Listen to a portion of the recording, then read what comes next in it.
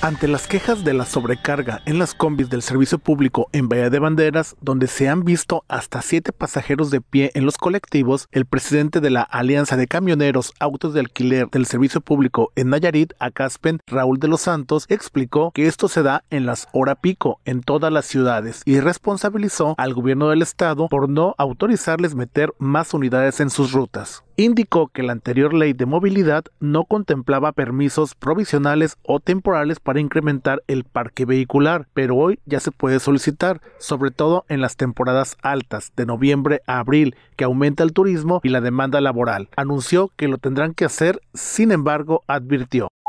Por desgracia estamos muy lejos de la capital y, las autoridades de Nayarit y los gobiernos odian Bahía, odian el transporte y no nos permiten de manera de facto poderle solucionar el problema a la gente. Si yo implementara algo para beneficio de la ciudadanía, seguramente tendría problemas con el Estado. Te pongo un ejemplo.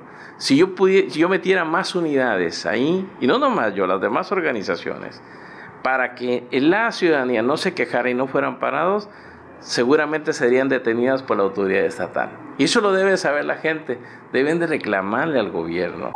Aclaró que el problema es histórico, pues viene desde el gobernador Ney González hasta el actual mandatario que se han opuesto a que presten el excelente servicio.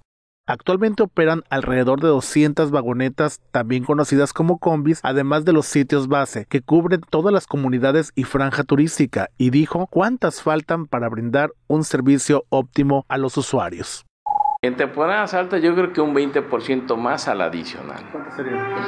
Pues en este caso estamos hablando de unas 40 unidades más. Con esa se cubre la demanda y esto lo vas a poder ver en Puerto Vallarta y lo vas a poder ver en la zona turística. En horas pico y en temporada alta no hay sitio que abastezca la necesidad. De los Santos agregó que igual no puede implementar otro tipo de medidas como antidoping o detener alguna unidad porque el chofer va mal aseado o alcoholizado. La autoridad no se lo permitiría al no estar facultado, por lo que insistió, la ciudadanía debe saber que no son ellos los que están en contra de prestar un excelente servicio. Con imágenes de Ángel Martínez para CPS Noticias, Miguel González Guerra.